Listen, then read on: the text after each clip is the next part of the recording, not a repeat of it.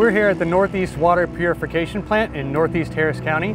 The Northeast Water Purification Plant is part of the Luce Bayou Interbasin Transfer Project, which is one of the largest water infrastructure projects across the country. When completed, it will provide 400 million gallons per day of clean drinking water to the almost 5 million residents of Harris County, Fort Bend County, and City of Houston.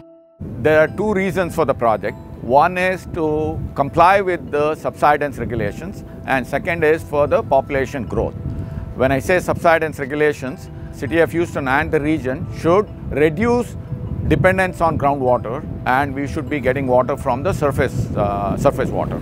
And uh, by year 2035, only 20% of the water in the region should come from ground and remaining 80% should come from surface waters. That is the main purpose of this project. Secondary purpose is the region is experiencing population growth. We are growing at about a million people per decade. So this is currently in operation. We are nearing substantial completion of phase one.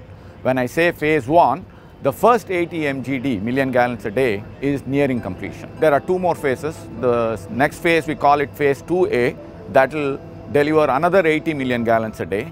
And phase 2B, that's the final phase, that will give 160 million gallons a day. So the entire complex, the new construction will get 320 million gallons a day.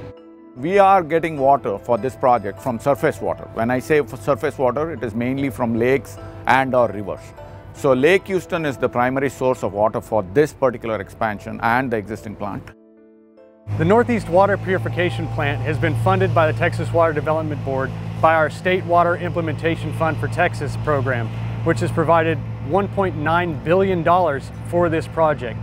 The Northeast Water Purification Plant is a shining example of regional collaboration. It is a pleasure working with TWDB. Involvement of TWDB was very important. The financing of this project, not only for the City of Houston, but also for the four water authorities, is provided by uh, TWDB. You got cameras, got radar. I've really enjoyed being here touring this plant. It's an impressive facility. The scale and magnitude of what we're doing here and what these entities are doing here is really, really impressive. It is going to be an incredible project that folks are going to look back on in generations, understanding that Texas got it right here.